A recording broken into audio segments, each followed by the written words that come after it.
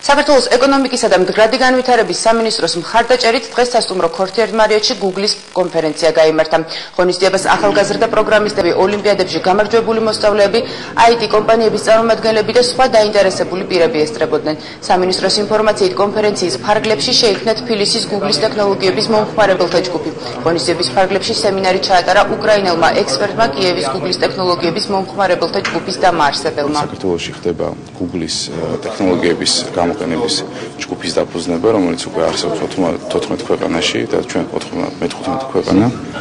ამ კონფერენციის მიზანია ეს ექსპორტზე ორიენტირებული პროგრამირების განვითარება ქვეყანაში და ის რომ საქართველოსთან გაუსვლელად ხდებოდეს ცოდის ექსპორტი